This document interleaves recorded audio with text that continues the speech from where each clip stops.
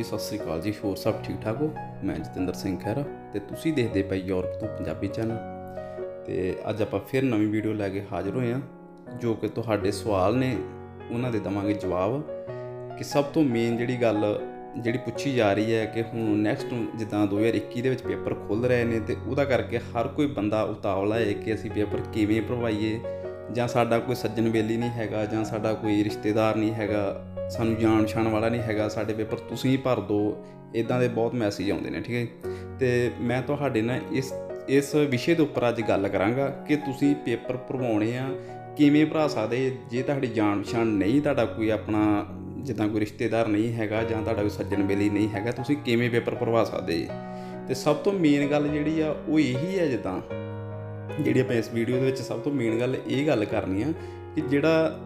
ਤੁਸੀਂ ਇਦਾਂ ਜਿੱਦਾਂ ਹੁਣ ਮੰਨ ਲਓ ਕਿ ਮੈਨੂੰ ਨਹੀਂ ਗਏ ਜਾਣਦੇ ਤੁਸੀਂ, ਠੀਕ ਹੈ? ਤੁਸੀਂ ਜ਼ਰੂਰ ਤੁਸੀਂ ਚਲੋ ਮੇਰੇ ਤੇ ਭਰੋਸਾ ਕਰਦੇ ਆ ਕੁਝ ਵੀ, ਪਰ ਜਦੋਂ ਆਪਾਂ ਲੱਖਾਂ ਰੁਪਈਆਂ ਦੀ ਕਿਤੇ ਕੋਈ ਵੀ ਗੇਮ ਪਾਉਣੀ ਹੁੰਦੀ ਆ ਜਾਂ ਕੋਈ ਆਪਾਂ ਬਿਜ਼ਨਸ ਕਰਨਾ ਜਾਂ ਕੁਝ ਵੀ, ਉਹਦੇ ਵਿੱਚ ਸਭ ਤੋਂ ਪਹਿਲਾਂ ਦੇਖਿਆ ਕਰੋ ਸਾਡੀ ਜਾਣ ਪਛਾਣ ਕੀ ਹੈ ਇਹ ਬੰਦੇ ਨਾਲ, ਠੀਕ ਹੈ ਜੀ?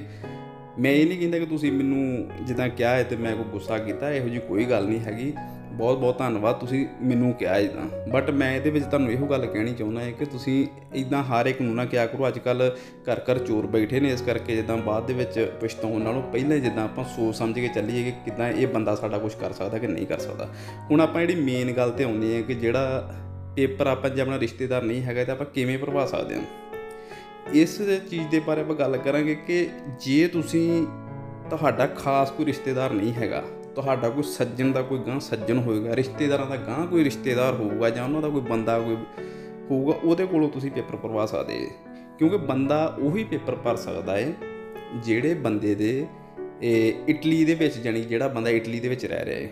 ਠੀਕ ਹੈ ਕਿਉਂਕਿ ਜੇ ਆਪਾਂ ਕਹੀਏ ਇੰਡੀਆ ਵਾਲੇ ਪੇਪਰ ਭਰ ਲੈਣ ਜਾਂ ਇੰਡੀਆ ਵਾਲੇ ਇੰਡੀਆ ਵਾਲੇ ਆਨਲਾਈਨ ਖੁਦ ਪੇਪਰ ਭਰ ਲੈਣ, ਇਹੋ ਜਿਹਾ ਕੁਝ ਨਹੀਂਗਾ ਹੈਗਾ ਜੇ ਕੋਈ ਇਦਾਂ ਬੰਦਾ ਕੋਈ ਤੁਹਾਨੂੰ ਕਹਿੰਦਾ ਹੈ ਕਿ ਮੈਂ ਇੱਥੇ ਬੈਠਾ ਜਿੱਦਾਂ ਕਿ ਮੈਂ ਇੱਥੇ ਭਰ ਦਿੰਦਾ ਪੇਪਰ, ਇਹੋ ਜਿਹਾ ਕੁਝ ਨਹੀਂ ਹੈਗਾ। ਤੁਸੀਂ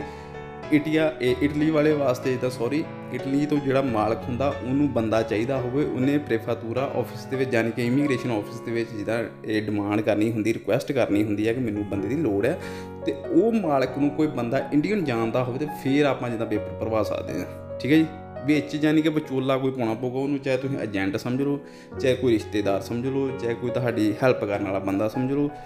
ਇਸ ਤੋਂ ਬਿਨਾ ਜੇ ਕੋਈ ਕਹੇ ਕਿ ਇੰਡੀਆ ਬੈਠਾ, ਮੈਂ ਕੋਈ ਚੱਕਰ ਨਹੀਂ, ਇਥੋਂ ਆਨਲਾਈਨ ਮੈਂ ਤੇਰੇ ਪੇਪਰ ਭਰ ਦਿੰਦਾ, ਮੈਨੂੰ ਇੰਨੇ ਹਜ਼ਾਰ ਦੇ ਦੇ, ਇੰਨੇ ਲੱਖ ਦੇ ਦੇ, ਉਹ ਬਿਲਕੁਲ ਫਰਾਡ ਹੈ ਤੇ ਜੇ ਕੋਈ ਚੈਨਲ ਵਾਲੇ ਨੂੰ ਤੁਸੀਂ ਕਹੋਗੇ, ਮੈਂ ਉਸ ਤੇ ਵੀ ਕੋਈ ਭਰੋਸਾ ਨਹੀਂ ਕਰ ਸਕਦਾ। ਕਿਉਂਕਿ ਚੈਨਲ ਵਾਲਿਆਂ ਤੇ ਵੀ ਜੇ ਭਾਵੇਂ ਬੇਸ਼ੱਕ ਤੁਸੀਂ ਮੈਨੂੰ ਕਿਹਾ ਹੈ ਪਰ ਮੇਰੇ ਤੇ ਭਰੋਸਾ ਨਾ ਕਰੋ। ਇਹ ਮੈਂ ਤੁਹਾਨੂੰ ਮੇਨ ਗੱਲ ਕਹਿਣਾ ਕਿਉਂਕਿ ਇਹਦੇ ਵਿੱਚ ਕੋਈ ਦੋ ਰਾਵਾਂ ਨਹੀਂ ਹੈਗੀਆਂ ਕਿ ਮੈਂ ਲੋਕਾਂ ਨੂੰ ਕਹੀ ਜਾਵਾਂ ਤੇ ਖੁਦ ਨਾ। ਤੁਸੀਂ ਮੈਨੂੰ ਵੀ ਜੇ ਤੁਸੀਂ ਕਿਹਾ ਵਾ ਤੇ ਉਹਦੇ ਵਾਸਤੇ ਮੈਂ ਤੁਹਾਨੂੰ ਹਮੇਸ਼ਾ ਇਹੋ ਹੀ ਕਹਿਣਾ ਸੌਰੀ ਮੈਂ ਤੁਹਾਡੀ ਕੋਈ ਹੈਲਪ ਨਹੀਂ ਕਰ ਸਕਦਾ। ਠੀਕ ਹੈ ਨਾ? ਕਿਉਂਕਿ ਲਾਰੇ ਨਾਲੋਂ ਪੂਰਾ ਜਵਾਬ ਚੰਗਾ ਹੈ। ਕਿਉਂ ਕੱਲ ਨੂੰ ਬਾਅਦ ਦੇ ਵਿੱਚ ਕਿਸੇ ਨੇ ਕਹਿਣਾ, ਯਾਰ ਉਹ ਬੰਦੇ ਨੇ ਉਹ ਯੂਰਪ ਤੋਂ ਪੰਜਾਬੀ ਵਾਲਾ ਮੁੰਡਾ ਹੈ, ਉਹਨੇ ਮੇਰੇ ਕੋਲ ਪੈਸੇ ਲੈ ਲਏ, ਠੀਕ ਹੈ? ਇਸ ਕਰਕੇ ਤੁਸੀਂ ਉਹ ਬੰਦਾ ਲੱਭੋਗੇ ਜਿਹੜਾ ਬੰਦਾ ਕੱਲ ਨੂੰ ਤੁਹਾਡੇ ਪੈਸੇ ਜਾਂ ਪਾਸਪੋਰਟ ਲੈ ਲੇ ਤੇ ਤੁਹਾਨੂੰ ਵਾਪਸ ਕਰ ਦੇ। ਜੇ ਨਾ ਵਾਪਸ ਕਰੂਗਾ ਤੇ ਉਹਦੀ, ਉਹਦੇ ਬਜਾਏ ਤੁਸੀਂ ਉਹਦੇ ਘਰੇ ਜਾ ਸਕਦੇ, ਜੇ ਉਹਨੂੰ ਜਾਣ ਪਛਾਣ ਹੋਊਗੀ ਉਹਨੂੰ ਪੁੱਛ ਸਕਦੇ ਜੇ, ਠੀਕ ਹੈ ਜੀ? ਇਸ ਕਰਕੇ ਜੇ ਕੋਈ ਚੈਨਲ ਵਾਲੇ ਨੂੰ ਜਾਂ ਕੋਈ ਰਾਹ ਗਲੀ ਜਾਂਦੇ ਨੂੰ, ਜਿੱਦਾਂ ਇੱਕ ਕਹਿੰਦਾ ਕਿ ਮੈਨੂੰ ਬੱਸ ਦੇ ਵਿੱਚ ਇਹ ਕੋਈ ਬੰਦਾ ਮਿਲਿਆ ਤੇ ਉਹਨੇ ਮੈਨੂੰ ਨੰਬਰ ਦੇਤਾ ਰਾਜਸਥਾਨ ਦਾ, ਸ਼ਾਇਦ ਕੋਈ ਬੰਦਾ, ਉਹ ਇਹ ਯੂਰਪ ਦੇ ਵਿੱਚ ਬੰਦੇ ਭੇਜਦਾ ਵਾ। ਹੁਣ ਤੁਸੀਂ ਇਹ ਦੇਖੋ ਕਿ ਜਿਹੜਾ ਬੰਦਾ ਆਪਾਂ ਨੂੰ ਜਾਣ ਪਛਾਣ ਨਹੀਂ ਹੈਗੀ, ਨਾ ਜਾਣ, ਨਾ ਪਹਿਚਾਨ ਤੇ ਮੈਂ ਤੇਰਾ ਮਹਿਮਾਨ ਤੇ ਉੱਥੇ ਬਾਅਦ ਵਿੱਚ ਤੁਸੀਂ ਕੀ ਕਰੋਗੇ? ਠੀਕ ਹੈ ਜੀ? ਮੈਂ ਤੁਹਾਨੂੰ ਇਹ ਸਲਾਹ ਦੇ ਸਕਦਾ ਵਾਂ, ਬਾਕੀ ਤੁਹਾਡੀ ਆਪਣੀ ਮਰਜ਼ੀ ਆ ਕਿ